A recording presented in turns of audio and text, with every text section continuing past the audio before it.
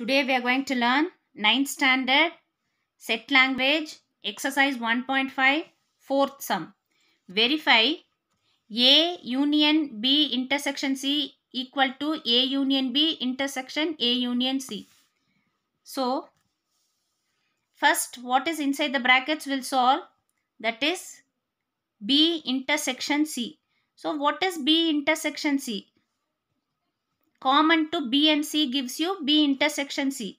So the common portion between B and C gives you B intersection C.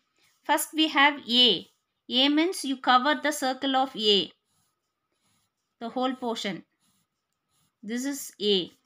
Now we are going to find the whole term A union B intersection C. A union B intersection C means we want all these portion.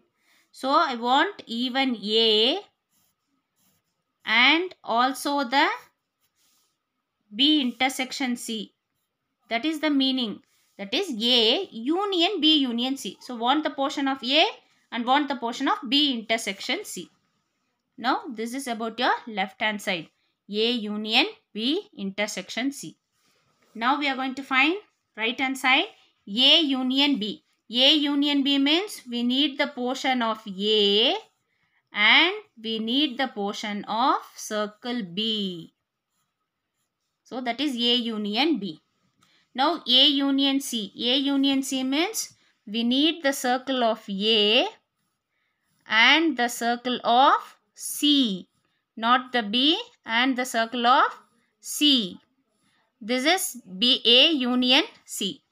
Now A union B intersection A union C. Now we have to look at the compare the two diagrams and find what is common here and we'll circle those things.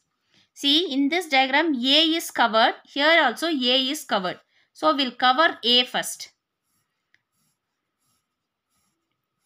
Next here B is covered. It is not covered. We don't want. Next here C is not covered. C is covered. We don't want. Now here this portion. Here this portion is covered here and this portion is covered here. So we have to find what is common things here. Here it is covered. Both are similar. So I am going to cover this portion. So what is common we are going to cover. Now look at your left hand side and right hand side. Both the diagrams are equal. Therefore A union B intersection C equal to A union B intersection A union C. Now compare the diagrams and come to a suggestion. So we have to find what is common in these two diagrams. According to that you suggest the diagram. Thank you children. Please comment.